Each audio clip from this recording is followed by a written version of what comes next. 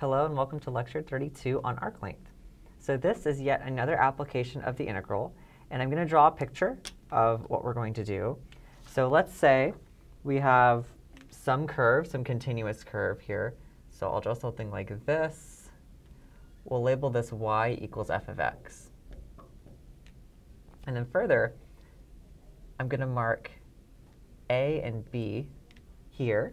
So we have this piece of the curve that we're interested in from A to B. And it goes like this. So we're going to follow it all along here. And the question is, um, how long is this piece of the curve? So if you imagine this blue part that I drew over it is a piece of string, if you placed this over the curve and then maybe you picked the string up and you stretched it back out again, like you laid it straight on the table, or something like this, you'd expect it to be a little longer than what it looks here, right? Because you'd take it and, and stretch it out here. So what we're asking for is, what is the arc length, or how long is that piece of string that you need to basically sculpt out the curve?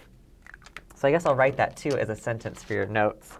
So what you can do is you can think of placing a string over a curve. And then the length of the of the stretched out string, the stretched out string is our arc length.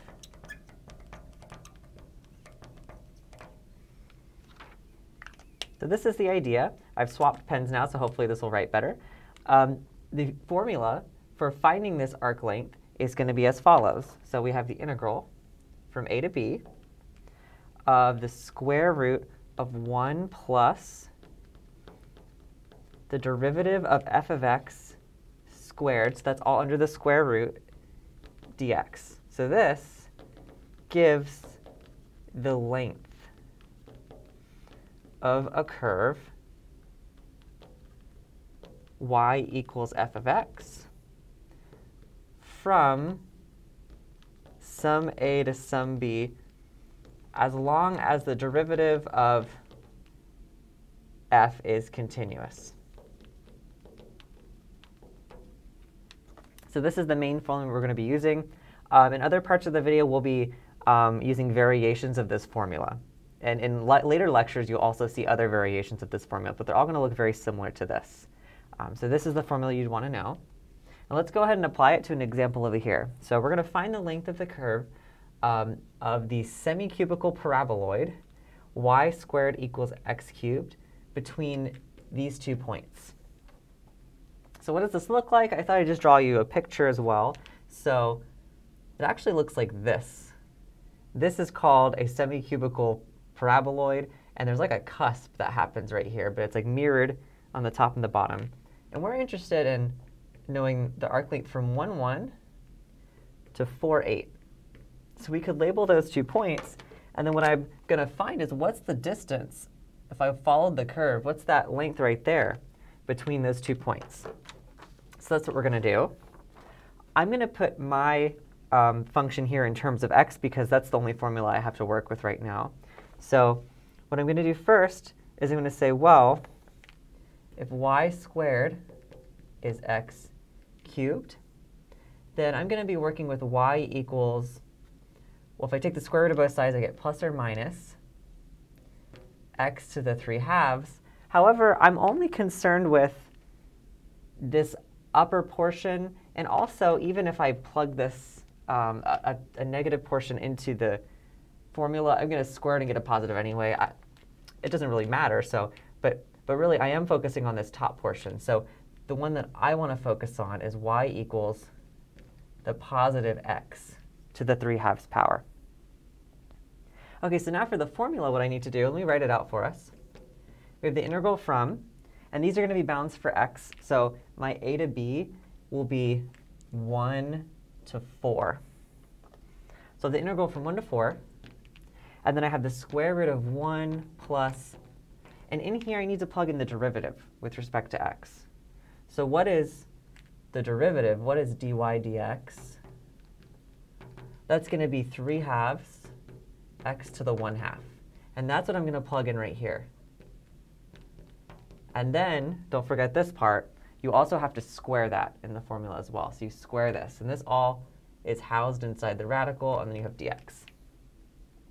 So then it boils down to, can you simplify this integrand enough so that you're able to integrate it? So let's keep going. So I have the integral from 1 to 4. This is the square root of 1 plus, if I square this, I get 9 over 4. And then it's just x, right? If I square x to the 1 half, I get x. Now this um, is not a nice integral, but I could make this a lot better if I make a u substitution, because this is just something linear in here. So let's make a u substitution. Let's say u is 1 plus 9 over 4x. Well, that would mean that du is 9 over 4 dx. And then further, that would mean that 4 ninths du is dx. So I'm going to make this substitution. I'm also just going to go ahead and take care of the bounds as well, because remember, these are at x right now. So if I want to change these and make these u, well, if I plug in 1 for x, it looks like I get 13 over 4. So that's if I plug in 1 right here. And then for the other bound, if I plug in 4, the 4's cancel and I get 10. So this just ensures I don't have to go back and substitute back in for x again. Now let's change this integral. So u is what I've called the inside. So I have u to the 1 half power which is much easier to integrate. And what else did I get? Well, this dx is also 4 over 9 du. So I also have a 4 over 9 out here du. So let's integrate this. The integral of u to the 1 half power is u to the 3 halves power times 2 thirds. But I also have this 4 over 9 that was sitting here. And I need to evaluate this from 10 to 13 over 4. And now to get this the exact length of this curve, I'd have to do some kind of simplification here. It doesn't look the, like the nicest, but we'll see how far I get. So the fraction in front is 8 over 27. And then you would plug in, you'd have 10 to the 3 halves minus 13 over 4 to the 3 halves. Just like that. Well, can I make this look any nicer? Um, sort of. If you have something to the 3 halves power, that's the same as 10 to the first power times 10 to the half power. So I could rewrite this as 10 root 10. And then this one, I could write this as 13 root 13 over, and then this would be 4 root 4. So anything to the 3 halves power, I can write it in that, that pattern. And then if I distribute this, I would get 80 over 27 root 10 minus and an observation to make here is this is just 8. 4 times root 4, that's 8. It'll cancel with this 8. So if I, if I distribute this other part here, I get 8 times 13, which is 104. And this is root 13 um, over the, um, the 8 um, times 27. Oh, I just realized I just talked about the 8s canceling and I didn't cancel the 8s. Um, the 8s cancel, don't they? So instead of this 104, let's just make that 13. That was very silly. So I have 13 root 13, and that's over 27. We still have that. So after I've distributed, that is the final answer. So this would give us the exact arc length from walking on the curve from here to this point right here. In the next part of this video, we're just going to do two more examples of arc length. I'm going to show you just a couple variations of this formula. I'll see you in just a moment. All right, so welcome back. So the first point I'd like to make is that we had the arc length formula in terms of x. However, you can switch the roles of x and y if you're given a curve that is in terms of y. And you can kind of just use a, a, a, similar looking formula and also get the arc length. So you don't have to switch the variables all in terms of x for every problem. Um, so say they do give you a curve that is um, in terms of y, and you want to find the length of the curve from some c to d, where these are y values, then the formula will look like this. You'll have the integral from c to d of the square root of 1 plus g of y prime squared dy. So the whole integral is in terms of y, and you're just doing the same kind of thing. You have 1 plus and then that function's derivative squared. So here's an example where they want to, you to find the length of the curve, and they've given you the um, we've given you the curve in terms of y already. So let's apply this formula and do another practice problem. Um, I encourage you to pause the video and try it yourself if you feel confident doing so. So give that a shot. I'm going to go ahead and do it now. So first I'm going to need to find the derivative, but I need to clean this up a little bit. So this y is to the 1 half power. So if I were to distribute this in, I would get 1 third y to the 3 halves power, because I have 1 half, plus 1, minus, and then I'd get 1 third times 3 is 1, and I just get 1 y to the 1 half power. So there's my first step.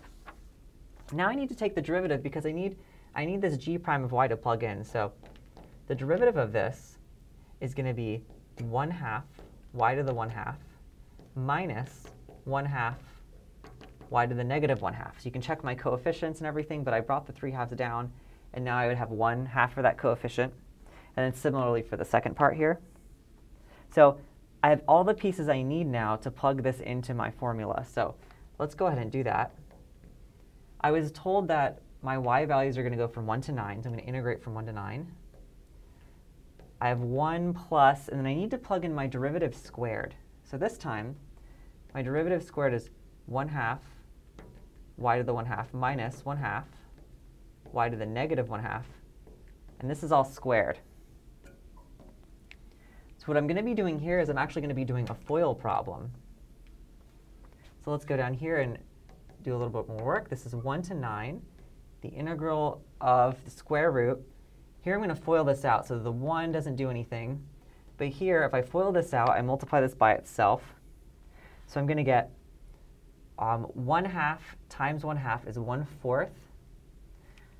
I'll get 1 fourth, and then y to the 1 half times y to the 1 half is just y. Then I'm going to get 1 half times 1 half, and these are this is subtraction.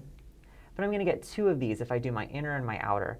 So this would be a fourth, and another fourth would be minus 1 half. And then I'd have y to the 1 half times y to the negative 1 half, would, which would just be y to the 0. So as I'm doing this, I'm thinking about this. I'm actually going to write this out.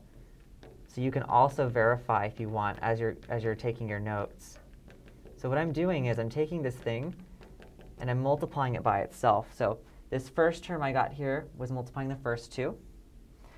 And then the second term here, I got negative 1 fourth and negative 1 fourth. And again, the y to the 1 half power and y to the negative 1 half power, it would be y to the 0 here. And I need one more term, so my last terms, if you multiply these, they're both negative. So I get a positive 1 fourth. And then this time, y to the negative 1 half times y to the negative 1 half is y to the negative 1.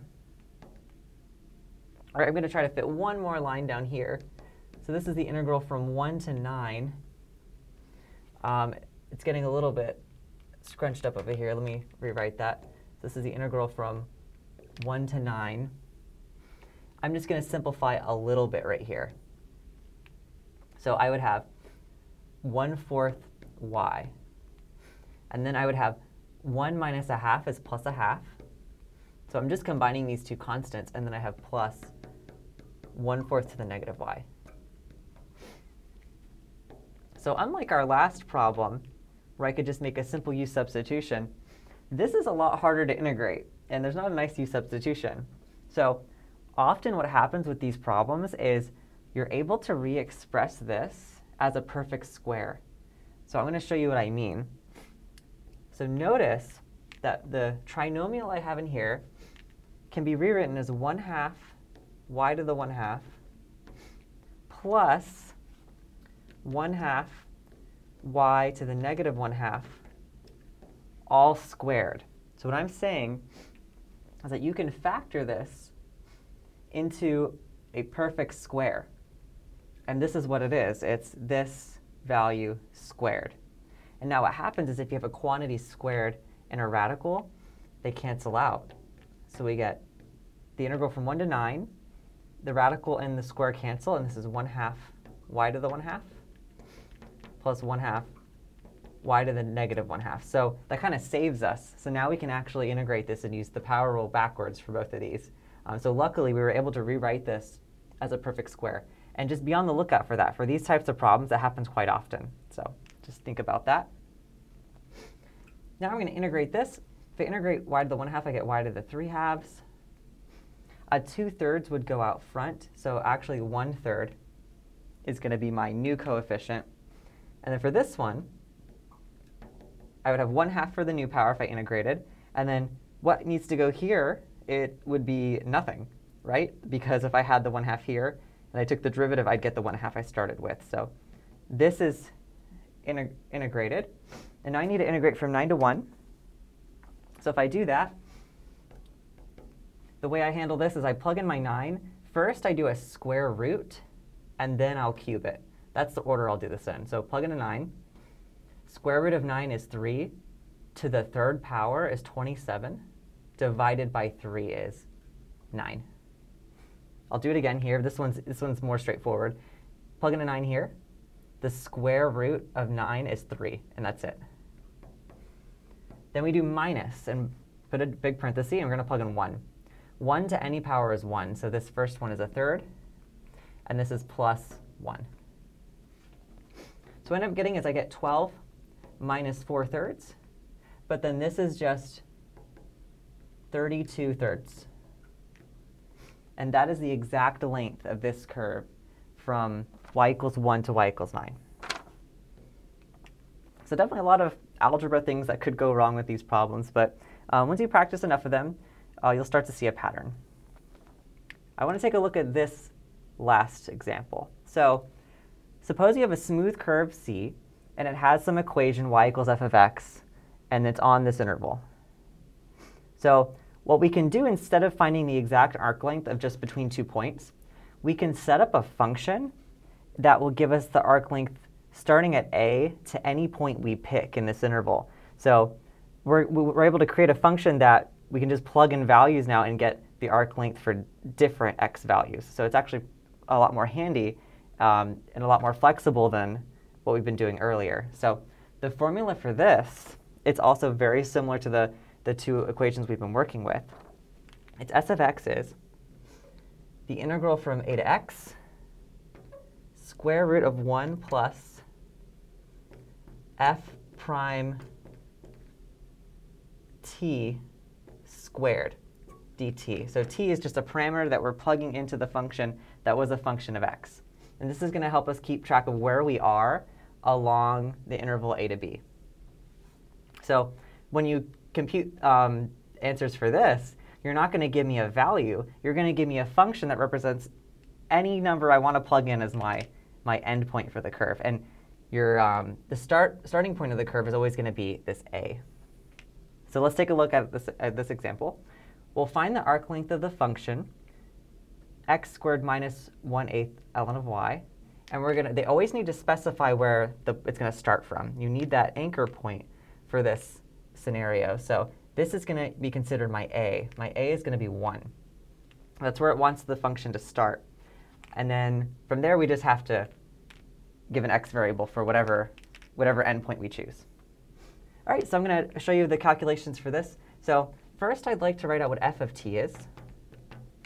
All that is you plug t into the, into the function. So f of t is you replace the function with t's. So this is t squared minus 1 8 ln of t. And the formula doesn't call for f of t, it calls for the derivative of it. So the derivative of this function with respect to t is 2t minus 1 over 8t. Remember, the derivative of ln of t is 1 over t. All right, so this is a good start. Now what I can do is I can go ahead and plug into my formula. So the, the function, the arc length function represented by this curve is going to be the integral from a to x. So a this time is 1. They have to give you the starting point, so 1. And then x is going to be my variable. This is a function of x that we're creating. Here's where the input is for the function. It's the top bound of this integral. This tells you where to stop finding the arc length, starting at 1. And I have the integral of the uh, square root of 1 plus. What is the derivative? With respect to t, I found it. It's 2t minus 1 over 8t. And then you have to square it, just like those other two formulas, dt. And then again, the challenge is just, can you simplify this? Can you make the integral look nice enough so you can integrate what's going on in here? And right now, it's not looking nice. So we have to do some kind of, some kind of magic algebra to make this fixed. So let's start working at it. We have the integral from 1 to x. And we just need to start simplifying this. So this is 1. Again, I'm going to do FOIL on this, just like I did FOIL over here. Okay, and I'm not going to write out that, that step this time. You can on your own paper if you want, but I'm going to just go ahead and do it. This is 4t squared. This one times itself. For the middle term, what you're going to get is t and t cancel if you multiply these together. And 2 over 8 is 1 fourth. And you're going to get two of these. So it's minus 2 over 4. And then the t's cancel each time. So we have that. And then what I'm going to get is this last term times itself, which is plus 1 over 64t squared dt. So this is what I'm looking at so far.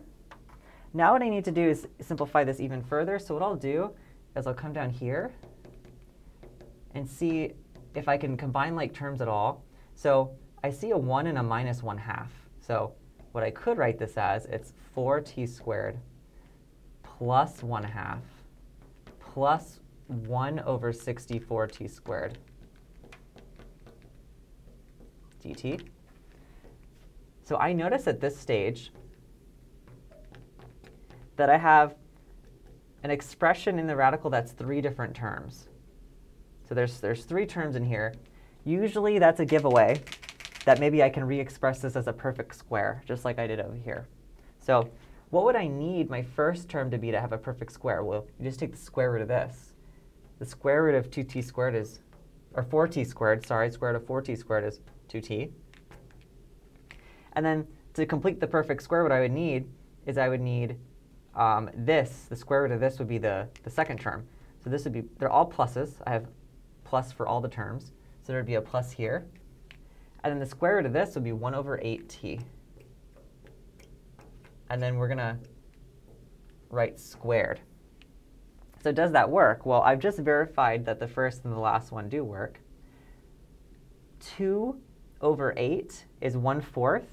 And if you, you have to, when you FOIL, you have two of them. So together that would make a positive 1 half. So this actually checks out. This is correct. So luckily, the inside of here becomes a perfect square, which then I can cancel with the radical. So this is the integral from 1 to x. A radical and a square cancel, and you just get 2t plus 1 over 8t. And that's great, because now I can actually integrate that. So that means that this is t squared if I integrate this, and then how do I integrate that? I have a constant 1 over 8 ln of absolute value of t. And I need to plug in my bounds. This is a definite integral. It goes from x to 1. So then my function for the arc length is going to be I plug in an x. That's x squared plus 1 over 8 x. I don't really need this absolute value bar because I know that um, my values of x are going to be greater than 1 that I plug in, or 1 um, which is valid for the log function. So I can just write that as x minus, so I've plugged in x. I need to also plug in a 1. So if I plug in 1, I get 1 squared is 1. And then ln of 1, remember, that's 0.